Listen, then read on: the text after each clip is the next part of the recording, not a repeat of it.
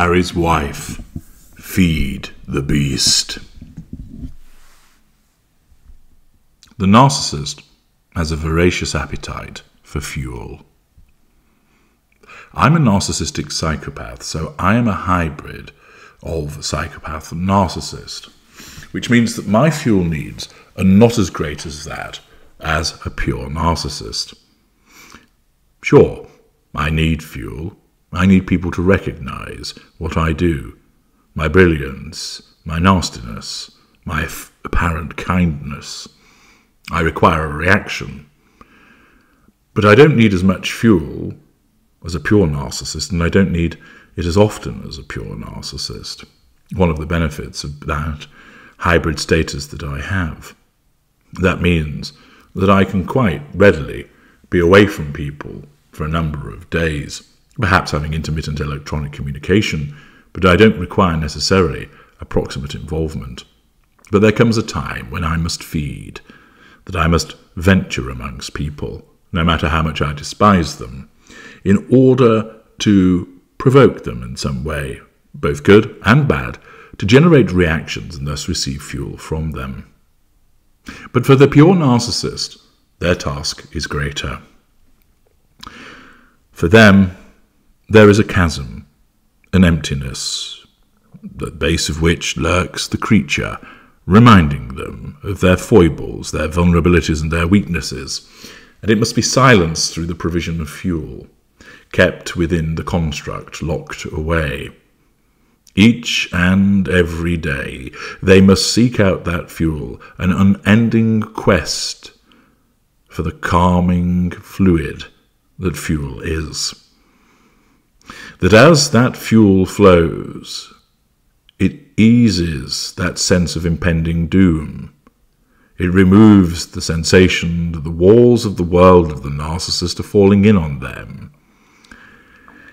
It quells the disturbed sensations, pours oil, if you will, on troubled water until, as more fuel comes, the narcissist starts to feel more settled, then more powerful, then all conquering, invulnerable, fizzing with power and energy. Each and every day the narcissist must feed, and Harry's wife is no exception to that.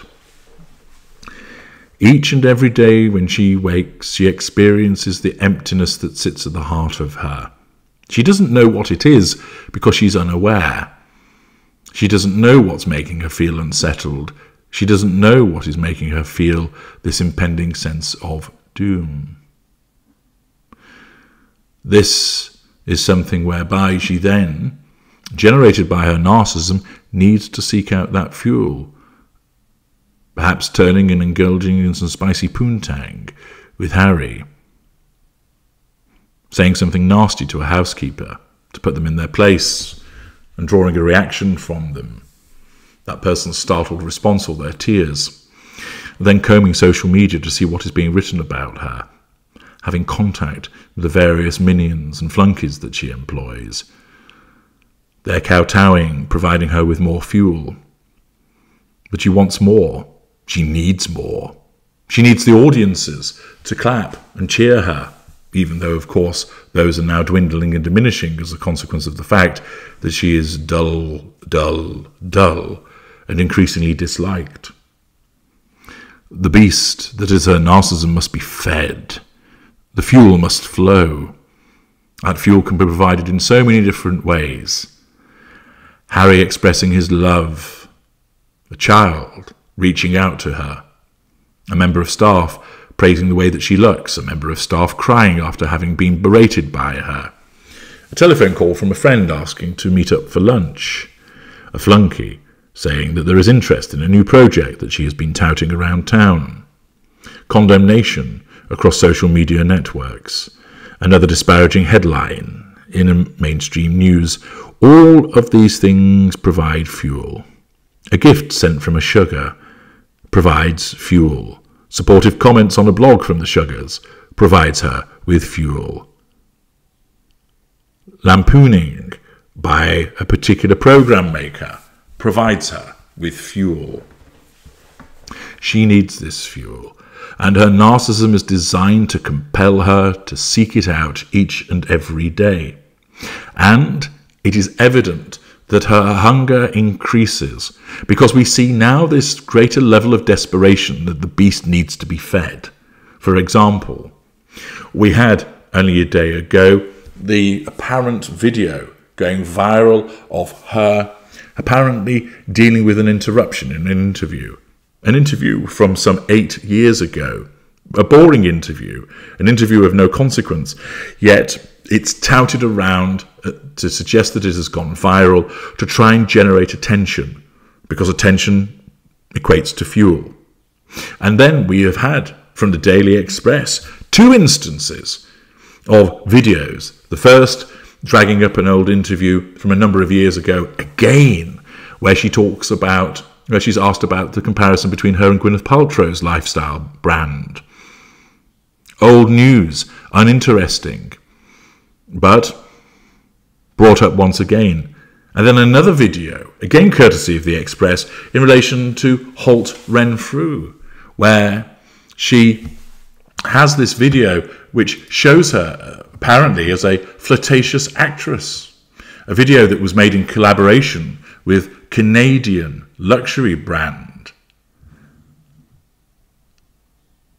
has resurfaced apparently, showing her life, what her life was like pre Harry.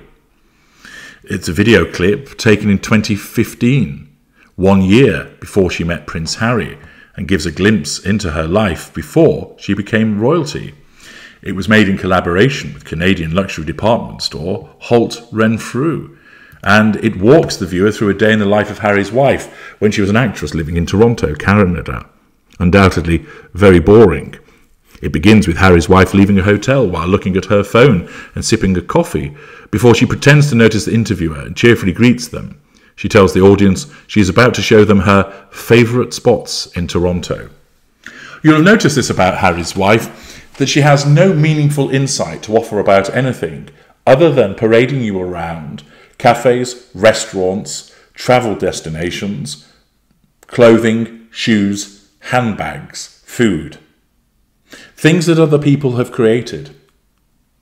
She doesn't sit down and offer you some pithy insight into the state of the nation she doesn't provide you with a comedic take upon the latest clash between two politicians. No. What she deals in is what other people have produced, that, what other, that she can commandeer. Light, fluffy, ephemeral stuff. And of course, in this instance, this dull video from eight years ago is another one that has been dredged up, and for a supposed body language expert to tell us all about what it means.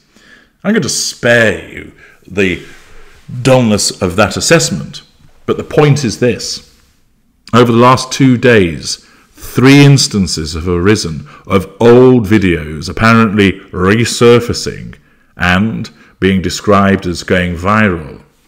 This shows how hungry the beast is, how the beast is failing to get the level of fuel that it requires, that it resorts to this tactic of old videos, years old videos, which of themselves are not particularly interesting, other than allowing examination to show her narcissism in action, which are then dredged up for the purposes of pumping them out alongside PR puff pieces. The fact that there have been three in two days shows that increasing level of desperation and just how much she needs to feed the beast. I'm H.G. Tudor.